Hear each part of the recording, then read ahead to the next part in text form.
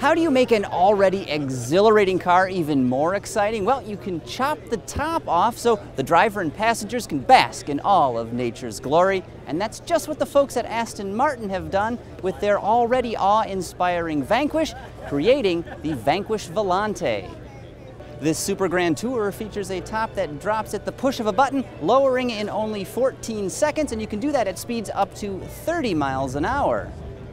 Now that's all fine and dandy, but I'm pretty sure those are the numbers you don't care about. Under this car's long, low hood sits the company's AM11 engine. It's a 6-liter V12 and it puts out 565 horsepower with 457 pound-feet of torque. It's matched to a sporty 6-speed automatic transmission that sends the power to the rear wheels.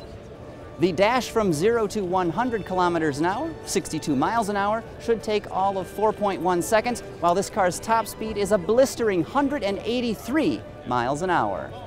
Built on the company's VH architecture, which oxymoronically stands for vertical horizontal, the Vanquish Volante is made out of a unique blend of aluminum and carbon fiber.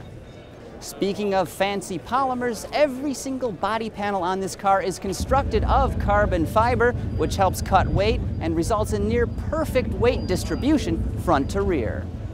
Aston Martin says the Vanquish Volante was designed to be the ultimate convertible, and with looks and performance numbers like this, it's pretty hard to disagree. Base price for this car is about $300,000, and if you want one, delivery should start early next year.